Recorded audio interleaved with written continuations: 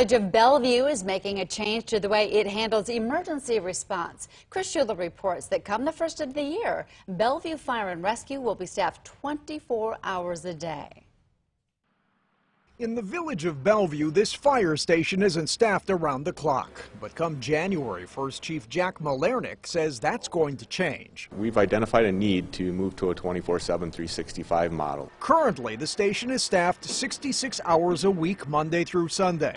When staff is on the clock, response times are good, but when they are not here, things drop off quickly. We're between five to six minutes when we're staffed here at the station, but when we're not, it can be upwards of 14 to 15 minutes, which is a, a substantial difference. The department has 10 full-time firefighters and 33 part-timers, and when crews are called in, it takes extra time. By the time you wake up, shake the cobwebs loose, hop in the car, you know, you're already three, four minutes into something. When your response times are that much of a difference, um, something needs to be looked at. With half of the calls coming after hours, Malernick proposed a plan, recently approved by the village board, to shift existing staffing to a 24-7 model to speed up response times around the clock. We'll have three people at the station 24-7, uh, so there'll be a captain and two firefighters. Now we'll be sending a fire engine out immediately. Anytime you can get people to an emergency scene 10 minutes quicker, is going to be a, a drastic, uh, drastic change and a good outcome in the, uh, in the end.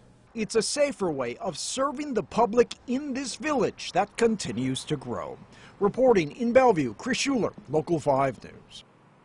Thank you, Chris. The chief says the change doesn't increase the village's budget due to attrition of some department positions.